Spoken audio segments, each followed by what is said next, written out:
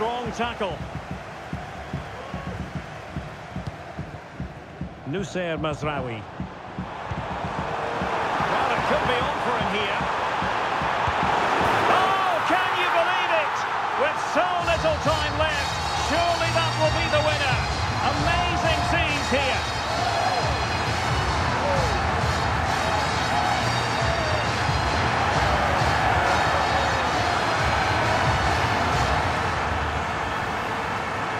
Well, just look how exposed the keeper is. He's got absolutely no chance there, but they do take it well, you have to say.